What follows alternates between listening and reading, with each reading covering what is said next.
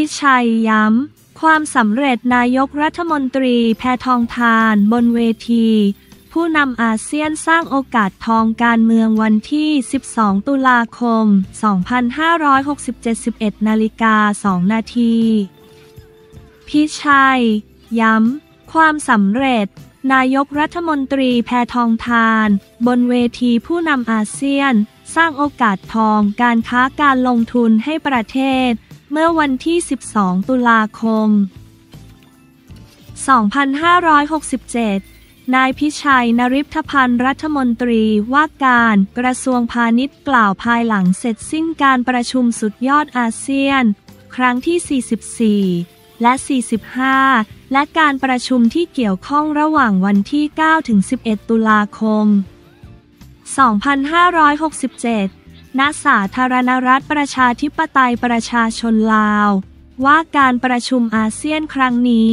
ถือว่าเป็นความสำเร็จของประเทศไทย บนเวทีโลกอีกครั้งหนึ่งต่อจากการประชุม ACD Summit ที่กาตาร์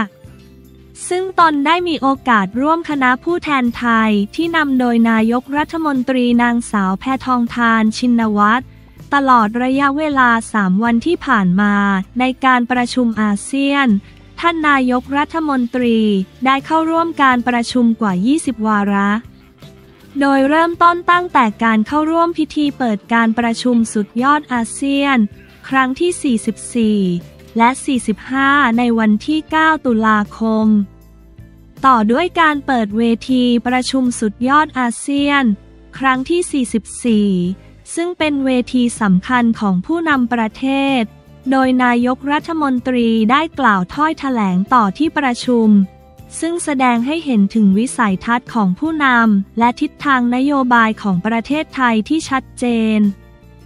ในการเพิ่มโอกาสทางเศรษฐกิจระหว่างกันในมิติต่างๆ ในฐานะที่ประเทศสมาชิกอาเซียน ล้วนเป็นคู่ค้าทางเศรษฐกิจที่สำคัญ ถือเป็นการเปิดโอกาสการเจรจาการค้า การลงทุนต่างๆ อย่างดีเยี่ยม และได้รับความสนใจจากผู้นำประเทศต่างๆ เป็นอย่างมาก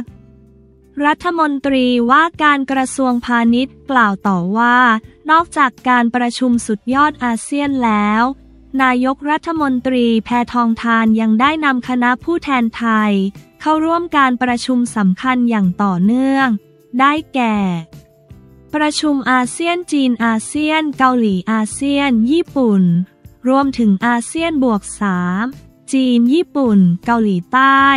ซึ่งการกล่าวแถลงของท่านนายกรัฐมนตรีทำให้ในแต่ละเวที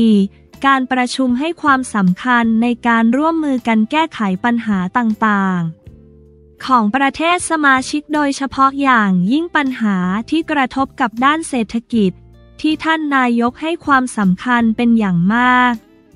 ทุกประเทศเล็งเห็นถึงความตั้งใจจริงตรงนี้ และหากมีนโยบายการค้าการลงทุนที่สอดรับกัน ก็จะได้สานต่อให้สำเร็จต่อจากนี้ ภายหลังการประชุมสามเวทีใหญ่ มีประเทศ ขอพบหารือทวิภาคี หรือการหารือสองฝ่ายอาทิ ญี่ปุ่น สิงคโปร์ กัมพูชา บรูไนดา รุสซาลาม เวียดนาม มาเลเซีย แคนาดา เกาหลีใต้ เป็นต้น จนเกิดการประชุมทวิภาคีมากถึง 12 ประเทศ โดยนายกรัฐมนตรีแพทองทานให้ความสำคัญกับทุกการประชุม แม้จะกินเวลาช่วงพักเบรก ก็ตามนอกจากประเทศในกลุ่มอาเซียนแล้ว ยังมีประเทศมหาอำนาจ และประเทศคู่ค้าสำคัญเช่น สหรัฐอเมริกาจีน อินเดียออสเตรเลีย นิวซีแลนด์ นับว่าประเทศไทยเนื้อหอมจริง ๆ ในการค้าการลงทุน เพราะมีหลายประเทศมาร่วมขอเข้าประชุม และประเทศอินเดียที่ให้การยอมรับท่านนายกอย่างมาก เนื่องจากเห็นถึงความมั่นคง และชัดเจนของนโยบายผู้นำประเทศไทยสำหรับญี่ปุ่นเองก็ยังมีการยืนยันที่จะร่วมลงทุนกับไทยในเขตเศรษฐกิจพิเศษอย่างต่อเนื่อง และยังมีประเทศอื่น ๆ ที่พร้อมจะเข้ามาลงทุนในไทย และขยายโอกาสทางการค้าร่วมกันยิ่งขึ้น ซึ่งผมถือว่าเป็นข่าวดีของประเทศไทย ที่เกิดขึ้นจากการทำงานหนักของทีมไทยแลนด์ ของคณะผู้แทนไทยที่นำโดยท่านนายกแพทองทาน ซึ่งได้ให้ความสำคัญอย่างมากกับการเจรจาด้านการค้าการลงทุนในเวทีโลก หลังกลับจากกาตาร์เราก็ได้ยินข่าวดี คือกลุ่มทุนในประเทศตะวันออกกลาง ประกาศแผนลงทุนในศูนย์ข้อมูล Data Center ในไทยกว่า 3.2 หมื่นล้าน และจะมีมาต่อเนื่อง ดังนั้นหลังกลับจากการประชุมอาเซียนครั้งนี้ ตนก็คิดว่าจะมีข่าวดีให้คนไทยได้ยินอีกหลายเรื่อง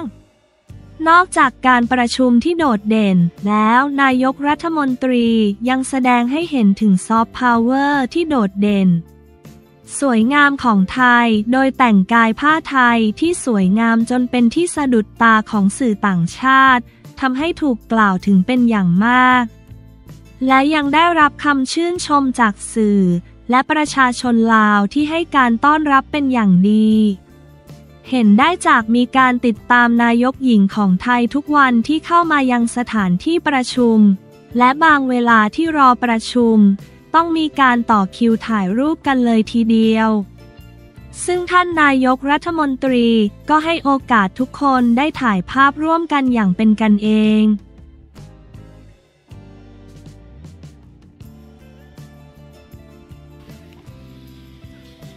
เปิดภาพล่าสุด หมอไม้ลูกชายพ่อสามารถพยักอรุณ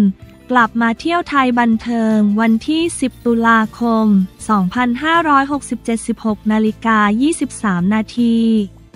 เปิดภาพล่าสุด หมอไม้กวิน ลูกชายหัวแก้วหัวแหวนของพ่อ สามารถพยักอรุณ กลับมาเที่ยวไทยคอมเมนต์แห่ชมหล่อได้พ่อแบบสุดๆ เมื่อวันที่ 10 ตุลาคม 2567 ภาพแห่งความอบอุ่นกลับมาอีกครั้ง เมื่อ ไม้กวิน ลูกชายหัวแก้วหัวแหวนของคุณ พ่อสุดเท่อดีตแชมป์มวยโลก สามารถพยัคฆ์อรุณ เดินทางกลับมาเที่ยวที่ประเทศไทย งานนี้คอมเมนต์แห่ชมความหล่อว่า ถอดแบบคุณพ่อมาสุดๆ โดยในวันที่ คุณหมอไม้ เดินทางกลับมาถึงประเทศไทย คุณพ่อสามารถในวัย 61 ปี ก็ออกโรงเดินทางไปรับลูกชายสุดที่รักที่สนามบินด้วยตัวเองอีกด้วย แถมยังโพสต์ภาพสุขสันต์เสิร์ฟรอยยิ้ม และระบุแคปชั่นว่า มารับลูกชายกลับจากอเมริกา มาเที่ยวไทยครับ ภาพประกอบสำหรับหมอไม้กวินทิพย์ท่าไม้ คือลูกชายของสามารถ พยักอรุณ กับภรรยาคนแรก โดยมีลูกด้วยกันสามคน ซึ่งในเวลาต่อมา ทางอดีตภรรยาและลูกๆ ได้เดินทางไปใช้ชีวิตที่ประเทศสหรัฐอเมริกา นอกจากความหล่อเท่หุ่นปังที่ถอดแบบคุณพ่อมาแล้วความปังของหมอไม้ก็ไม่ธรรมดายังเรียนเก่งสุดๆสำเร็จการศึกษาจากสาขาทันตแพทย์ที่มหาวิทยาลัยเทมเพิล University เมืองฟิลาเดลเฟีย สหรัฐอเมริกาอีกด้วย ภาพประกอบด้านคุณพ่อสามารถพยักอรุณ อดีตแชมป์มวยโลก เจ้าของรางวัลมากมาย หลังจากแขวนนวมก็ผันตัวเข้าสู่วงการบันเทิง มีผลงานมากมายทั้งผลงานเพลง และผลงานการแสดงเรียกได้ว่าเป็นโมเมนต์พ่อลูกสุดน่ารัก ที่ใครเห็นก็อบอุ่นหัวใจจนแฟน แฟนอยากให้ทั้งคู่ เสิร์ฟภาพให้ได้ชมอีกเยอะๆเลยทีเดียว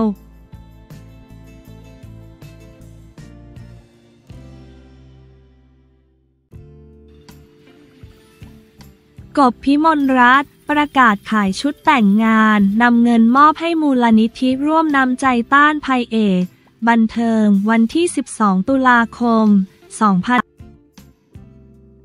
2000 3นาที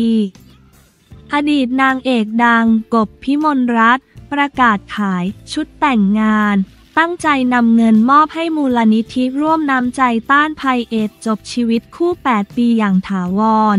สำหรับกบพิมลรัตน์พิสนลยบุตร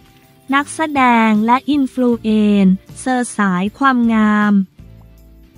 ล่าสุด โพสต์ประกาศขายชุดแต่งงานสุดหรูกลางอินสตาแกรมส่วนตัว โดยตั้งใจนำเงินที่ได้จากการขายครั้งนี้ มอบให้ มูลนิธิร่วมนำใจต้านภัยเอดโดยสาวกบได้โพสต์คลิปภาพชุดแต่งงานให้เห็นแบบชัดๆ พร้อมเขียนข้อความกำกับว่า ขอปล่อยชุด แต่งงานต่อในวันครบรอบ แต่งงาน 12.12 ขอคนที่รับได้และอยากร่วมบุญด้วยกัน รายได้ทั้งหมดจะส่งมอบให้กับ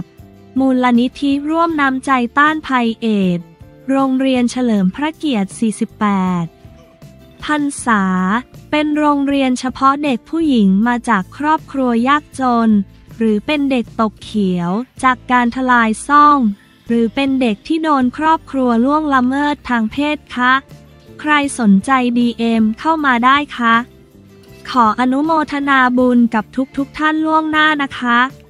นอกจากนี้กบพิมลรัตน์ยังได้ให้รายละเอียดเกี่ยวกับชุดไว้ด้วยว่า แบรนด์ดีไซเนอร์ไทยแอด Vatit Itthi ใส่ได้ทั้งสองลุคสองสไตล์ในชุดเดียวกันเกาะอกมีการจับผ้าที่ detail ละเอียดงดงาม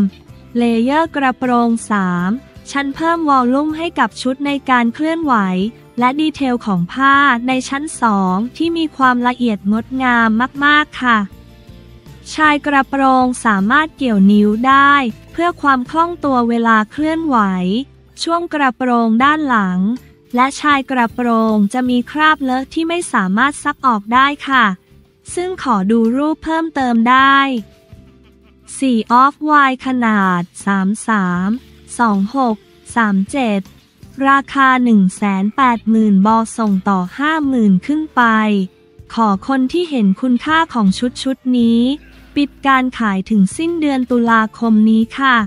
ขอบคุณที่มาไอจีโคบีพิโมรัต